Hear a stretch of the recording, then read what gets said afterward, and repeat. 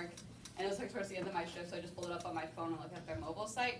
And their mobile site is very well done or whatever. It doesn't look like a desktop version or anything. It's very clear. You can see all the headlines, and all the headlines are very catchy.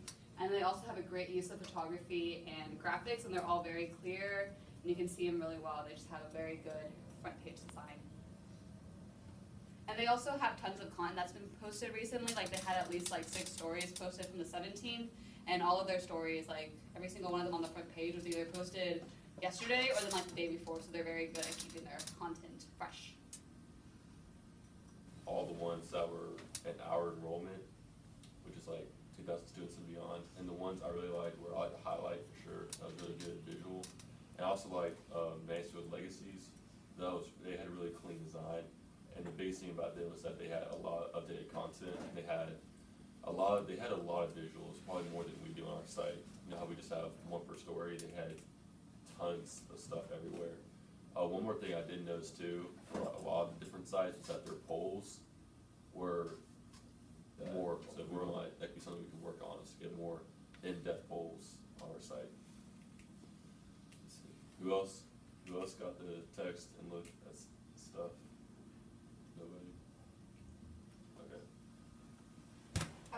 so one thing I noticed was that many of the websites, they were posting, they, I felt like the ones I looked at, they were posting at the same rate we were, but they had, like Talia said, clearer images, and then the content in general of what they're covering, it goes into deeper and more global issues, and I noticed that's like something the national and like ILPC likes, is when it covers more global topics and then also like more serious topics, rather than having like uh, multiple briefs or just sports coverage. Also, their sports coverage. It was pretty strong as well, and it was pretty similar to ours.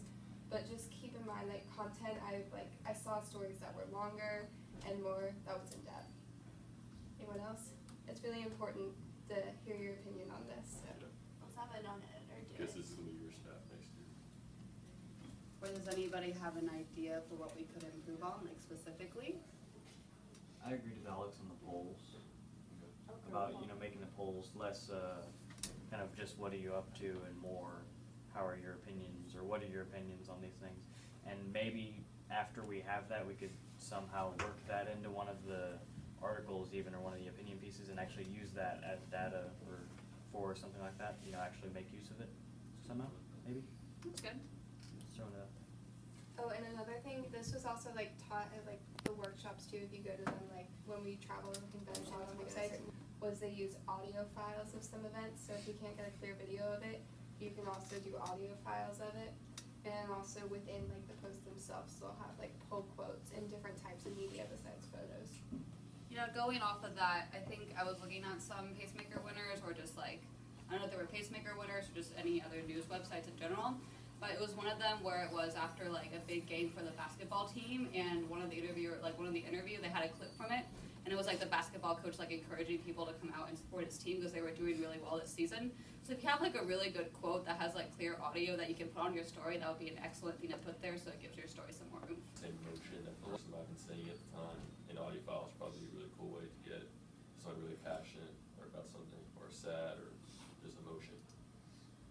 Um, what I noticed uh, about like certain sites, the ones that are like a really really top notch, like like Pacemaker, is that it's not just about like what's recent; it's just it's consistent. And I think we've gotten better on that. But it's like I know sometimes for my section, I'd have like four or five days where there'd be nothing, so it'd be four or five days old, you know. And then there's times where there's one like this week I have one for Thursday Lake Day. At least every other day we had new content going in, so it was like a consistent flow because it's good to like spurt, but you need to be consistent. And um, I've also noticed this too. A lot of the really good sites, I, I don't know why, but I've noticed that they have like recent stories, like top stories, like as part of their widgets.